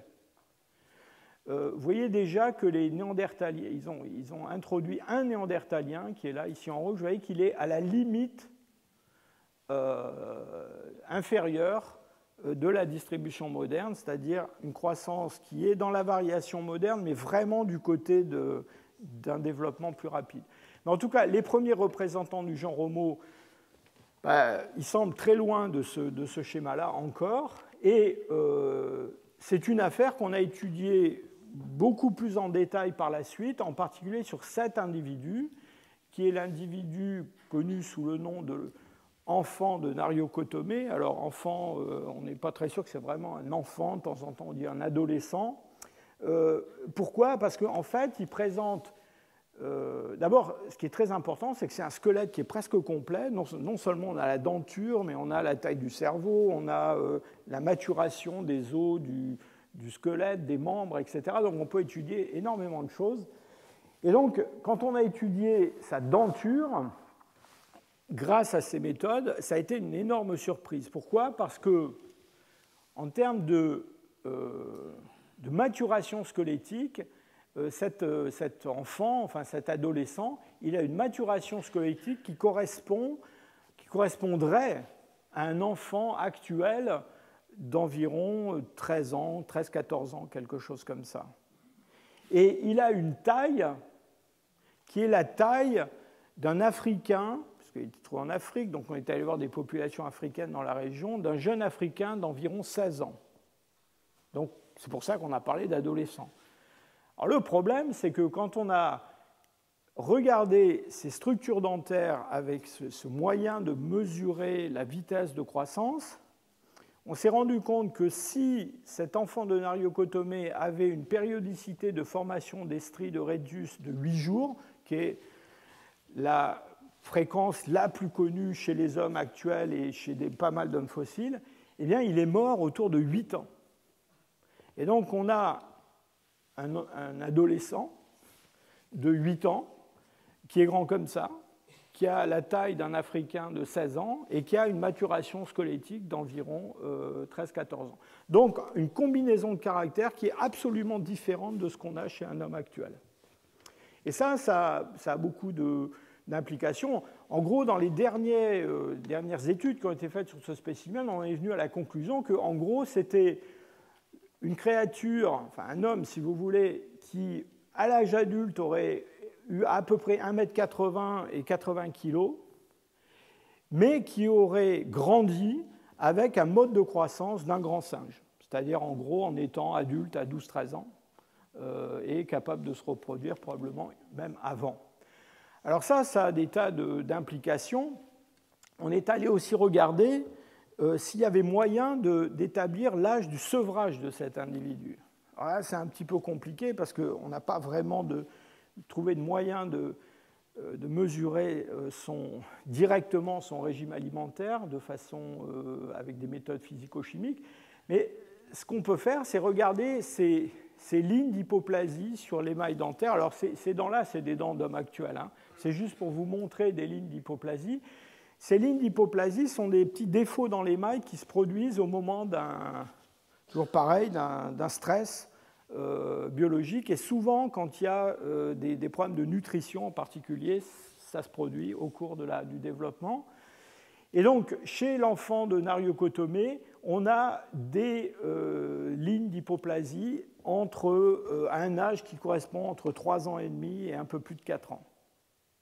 Et ça, c'est très intéressant parce que vous vous souvenez que c'est l'âge du sevrage chez les chimpanzés. Donc, ce qui, émerge peu à peu avec cet enfant de Nario Kotome, c'est dans le fond quelque chose qui, au point de vue de la taille, de la silhouette, peut-être du comportement, ressemble beaucoup à un, homme, mais qui, quand on regarde dans le détail ses paramètres biologiques et ses paramètres de croissance, en fait, est encore très très différent de ce qu'on trouve chez les hommes modernes et qui rappelle beaucoup ce qu'on trouve chez d'autres euh, grands primates. Euh, par exemple, cette, histoire de sevrage, ça pose vraiment la question de savoir est-ce que ces, Homo erectus, est-ce qu'ils grandissaient en fratrie comme les hommes modernes? Est-ce qu'une femme avait plusieurs euh, petits à la fois? Ça paraît difficile si le sevrage était à 4 ans. Alors, bon, je vous laisse euh, réfléchir à toutes les conséquences sur le plan social et sur le plan psychologique que j'ai évoqué tout à l'heure à propos de euh, cette histoire de euh, reproduction coopérative chez les hommes modernes. Alors, dernier point à propos des Homo erectus que je voudrais évoquer, c'est le développement cérébral. Donc, on peut, là encore, je reviens à ce, ce, schéma qui vous montre la taille proportionnelle du cerveau, c'est-à-dire en fonction de l'âge adulte, hein, c'est un pourcentage. Le seul petit Homo erectus que l'on ait, euh, c'est ce crâne qui vient de Java, euh, qui est daté quelque part autour d'un million six, peut-être un million sept, un million cinq, euh, qui est mort entre six mois et un an. Quand on compare la taille de son encéphale à celle d'Homo erectus de cette époque-là, on tombe encore une fois, dans des, valeurs qui sont assez éloignées des moyennes actuelles. Disons que dans le meilleur des cas, et ça a été confirmé par d'autres études, c'est quelque chose qui est intermédiaire entre euh, ce qu'on observe chez des hommes actuels et ce qu'on observe chez les chimpanzés. Dernier point, on a un bassin en Afrique qui a été attribué à un de ces Homo erectus anciens, femelles. Alors, je vous le dis tout de suite, cette attribution, elle est discutée, euh, parce que, évidemment, on a un bassin qui est tout seul, donc, euh, bon, il date entre 1,4 et 0,9. En Afrique de l'Est, normalement, à cette époque-là, c'est essentiellement des Homo erectus, mais il y a encore des paranthropes hein, qui, qui, traînent dans le coin, si je peux dire. Certains ont dit que c'est peut-être un paranthrope. Mais enfin, bon. Ce qui est intéressant, c'est que si on regarde la taille euh, donc euh, des, du détroit supérieur inférieur dans ce, bassin et qu'on essaie à partir de ça de faire une évaluation de la taille du crâne à la naissance et qu'ensuite on fait le, rapport entre cette taille et la taille d'un crâne d'Homo erectus adulte, eh bien, on trouve une valeur qui est, encore une fois, intermédiaire entre ce qu'on trouve chez un homme et ce qu'on trouve chez un chimpanzé. Vous vous souvenez, chez un homme, je vous ai dit à la naissance, à peu près 25-28%, chez un chimpanzé autour de 40, là on est autour de 35. Hein. Donc tout ça semble assez euh, cohérent. Pour finir, je voudrais vous dire euh, quelques mots des, Néandertaliens. Alors avec les Néandertaliens, on a un problème, si je peux dire, c'est que Là, on est vraiment à la fin de notre, de courbe, vous vous souvenez, où on voit cette augmentation du coefficient d'encéphalisation très forte dans les derniers 500 000 ans. Donc on a des formes qui ont des cerveaux aussi gros que le nôtre. Hein? on a des adultes néandertaliens qui ont des cerveaux même plus gros que la plupart des cerveaux qui sont dans cette salle. Euh, et donc, normalement, on attend des paramètres d'histoire de, vie et de développement qui soient très proches de ceux de l'homme actuel. Alors c'est vrai en général, mais ce n'est pas complètement vrai, et c'est assez problématique. Euh, en particulier, le développement dentaire, quand on compare l'âge histologique, c'est-à-dire basé sur les microstructures, et l'âge en utilisant des standards modernes d'éruption dentaire, eh bien on a toujours la même différence que ce qu'on observait avec nos, nos Homo erectus. C'est-à-dire qu'on a des individus qui ont l'air d'avoir 11 ans, hein, mais qui en fait ont 8 ans. Hein. Euh, on a euh, des individus qui ont l'air d'avoir 16 ans, parce qu'ils ont une M3 qui est déjà en train de sortir, mais en fait, quand on regarde les microstructures dentaires, ils ont 12 ans. Et vous vous souvenez que il y a une très forte corrélation, par exemple, entre l'éruption, la, date d'éruption de la, troisième molaire chez tous les primates et l'âge à la première reproduction. Donc, si on achète, si je peux dire, cette, notion-là, ça veut dire que les Néandertaliens ont un rythme de développement qui est quand même plus rapide que le nôtre. En tout cas, peut-être euh, une entrée dans la reproduction à un âge plus euh, précoce que celui des hommes actuels. Et ça, bon, ça pourrait s'expliquer en particulier par une mortalité forte chez les adultes, hein, en particulier chez les jeunes adultes, et donc un intérêt, si je peux dire, euh, d'entrer dans la reproduction le plus tôt possible. Euh, vous vous souvenez aussi que ces paramètres d'histoire de, de, vie dont on a parlé la dernière fois, vous vous souvenez que même à l'intérieur de populations actuelles, il y a des variations, c'est-à-dire que des populations actuelles s'adaptent à des conditions différentes. Vous vous souvenez, mes, euh, pygmées, là, qui avaient une, fertilité plus, élevée avec des, enfants plus petits euh, que, d'autres populations. Donc il y a une plasticité, même à l'intérieur de l'espèce actuelle. Si on regarde le cerveau des néandertaliens, Bon, là, il n'y a pas vraiment de grande surprise parce que, comme je vous l'ai dit, ils ont, euh, ils ont un très gros cerveau, et donc, quand on compare chez des fossiles de néandertaliens enfants la taille du cerveau avec la taille à la naissance ou la taille moyenne de l'adulte, en gros, ils sont dans la variation des hommes euh, modernes, mais quand même avec une tendance à un développement un peu plus euh, rapide, euh, ce qui dans le fond n'est pas vraiment une surprise compte tenu de ce que je viens de vous dire à propos euh, du développement dentaire. Alors quand même, cette idée qu'on a des êtres avec un cerveau très grand, mais qui se développent un peu plus vite que les hommes actuels, en tout cas qui sont à la limite, euh, disons, euh, supérieure de la vitesse de développement chez les hommes actuels, ça pose des sérieuses questions sur le plan énergétique. Hein. parce que vu la masse corporelle d'un néandertalien, euh, imaginez une femelle néandertalienne enceinte ou, allaitante, c'est encore pire, il faut qu'elle extrait de l'environnement de l'énergie dans une quantité qui est considérable, hein, euh, au-dessus de ce que, euh, je dirais, consomme une, femme moderne. Hein. Donc ça, ça, a des implications sur le comportement, sur l'organisation sociale, sur la capacité de ces hommes à trouver cette, énergie dans l'environnement. Alors il y a quelque chose d'assez particulier avec le développement euh, chez les néandertaliens du cerveau, c'est que euh, quand on regarde chez l'homme actuel les changements de forme de l'encéphale au cours de la croissance, au tout début de la vie, eh bien, on part d'une forme qui est une forme relativement oblongue vers une forme qui est beaucoup plus globulaire. En gros, ce qui se passe, c'est ça, c'est un développement du cervelet et, une, protrusion des, régions pariétales. Ce qui est remarquable, c'est que, dans le fond, cette différence-là, c'est la différence qu'on a entre un néandertalien et un homme moderne adulte. Et ça veut dire quoi? Ça veut dire que la différence entre néandertalien et homme moderne, elle se met en place au tout début du développement, au tout début de l'enfance. Euh, Je n'ai pas le temps de m'étendre énormément là-dessus, mais euh, on a beaucoup travaillé dans mon département sur euh, ce problème-là.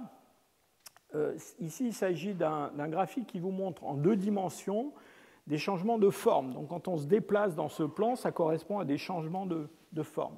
Ce qui est intéressant, c'est que quand on regarde le développement chez les hommes actuels, chez les néandertaliens, chez les chimpanzés, il y a cette trajectoire qui est une trajectoire commune, qui est probablement la trajectoire, je dirais, ancienne, ancestrale des hominoïdes.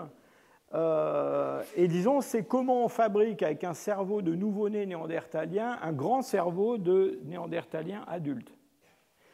Chez les hommes modernes, il y a une phase supplémentaire qui se rajoute. Et c'est cette phase, pendant la première année de vie, pendant laquelle on a cette croissance du cervelet et cette protrusion des, euh, euh, bosses pariétales. Euh, ça suggère évidemment qu'il y a un développement un peu plus long chez l'homme moderne, puisqu'on a en quelque sorte ajouté une phase dans le développement. au passage, je vous signale que chez nos plus anciens ancêtres, et je vous montre ce, crâne que vous avez dû voir euh, déjà euh, plus d'une fois, qui est un des crânes de Jebel Iroud, forme les plus anciennes d'Homo sapiens, vieille de 300 000 ans.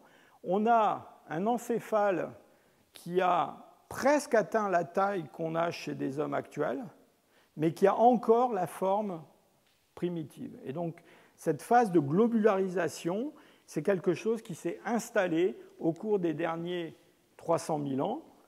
Et on sait qu'au cours de ces derniers 300 000 ans, il y a un certain nombre de mutations qui se sont produites le long de la lignée qui mène à l'homme moderne, depuis la séparation avec les Néandertaliens.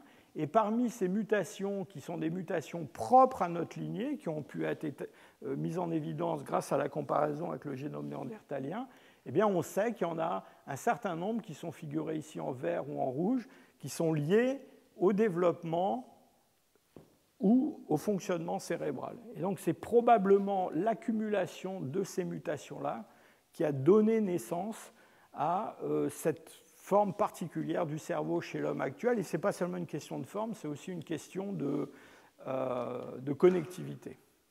Donc, euh, malheureusement, on a peu d'enfants néandertaliens, disons, préadolescents, hein, essentiellement cet enfant du moustier dont je vous ai déjà parlé, on a un enfant un petit peu plus jeune qui vient de Téchiktash en Ouzbékistan. Les données qu'on a sur le squelette postcrânien confirment plus ou moins ce que je vous ai dit, c'est-à-dire une, croissance qui est proche de celle des hommes actuels, mais euh, plutôt du côté euh, d'un développement somatique plus rapide, avec l'idée qu'il y a une entrée dans l'âge de la reproduction qui est euh, sans doute un peu plus précoce que ce qu'on trouve généralement dans les populations actuelles. Un mot du bassin. Alors, ça, c'est un bassin de, néandertaliens très ancien, près de 400 000 ans. Je vous le montre simplement pour vous le comparer à un bassin d'hommes modernes. Ce sont des hommes, hein. donc là, pour l'instant, il n'est pas question de bébés, hein. mais euh, vous voyez quand même la largeur de ce bassin, la taille de ce bassin par rapport à un bassin d'hommes modernes. Donc on a des formes qui sont très larges, qui ont un bassin très large, et on retrouve cette forme dans les bassins euh, féminins, en tout cas dans celui qu'on a réussi à reconstruire avec mon collègue euh, Tim Weaver, qui est un bassin d'une femme néandertalienne qui vivait au Proche-Orient. alors là, j'ai, comme vous le voyez, un petit peu discuté.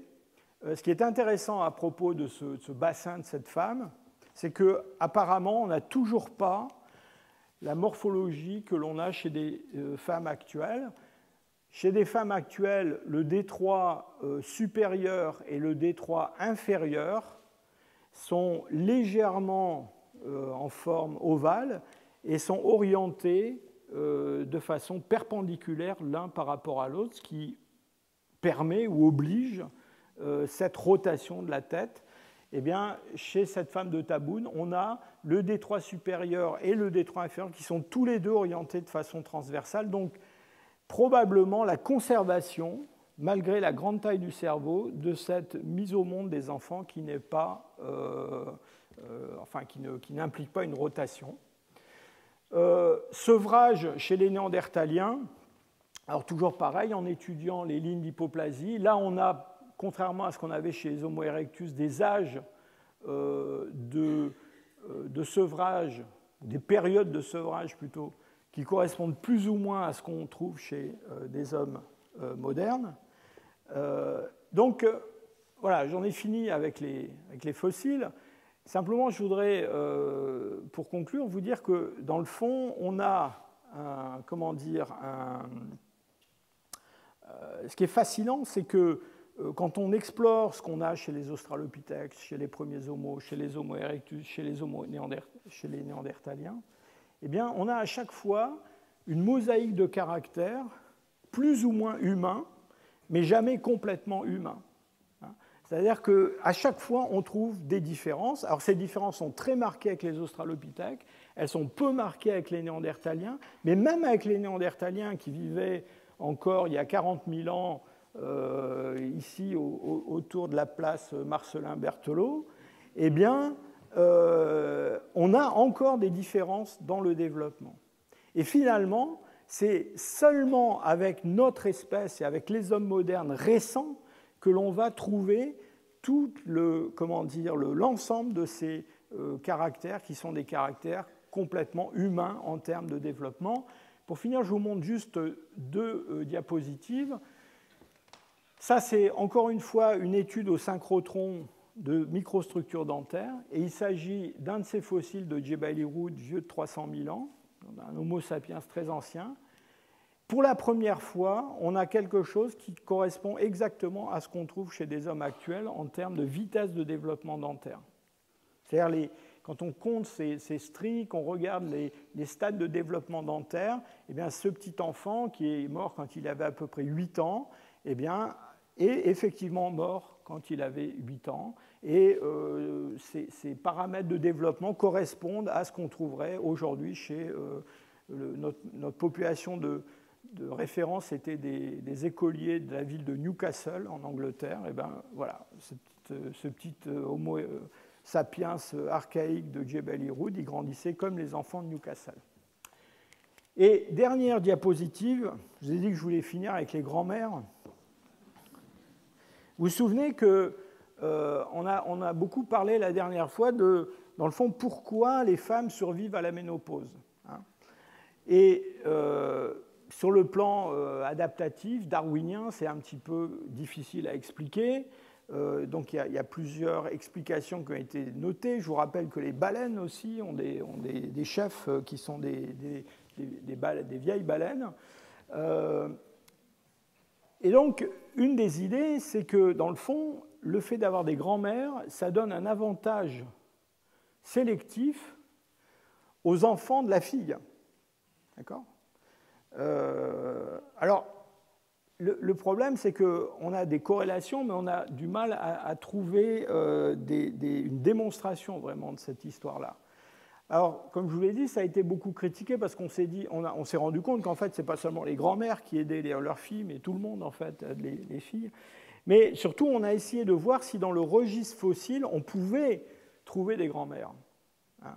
Et euh, les gens qui avaient l'approche théorique, hein, ceux qui, étaient les tenants de euh, life history euh, theories, euh, dans le fond, soutenaient qu'il devait y avoir des grands-mères déjà avec les Homo erectus, parce qu'ils ont un grand cerveau, parce qu'ils sont grands, parce que, etc. Et il y a une étude qui a été publiée il y a quelques années par deux chercheuses américaines où, alors, elles ont essayé, on ne peut pas déterminer l'âge à la mort des gens âgés, c'est très très difficile. Les enfants, je vous explique, on arrive à une grande précision, les gens âgés, c'est très difficile. Ce qu'elles ont, ont, fait, elles ont regardé l'usure dentaire et, sans rentrer dans les détails, elles ont en gros séparé tout le matériel fossile qu'elles avaient en euh, jeunes adultes et vieux adultes. Hein. Et c'est assez facile à faire, euh, disons en gros, en regardant euh, les stades d'usure des molaires. C'est-à-dire, on a des individus dont la troisième molaire vient de sortir, n'a pas du tout été usée, mais où déjà la première molaire est un peu abrasée.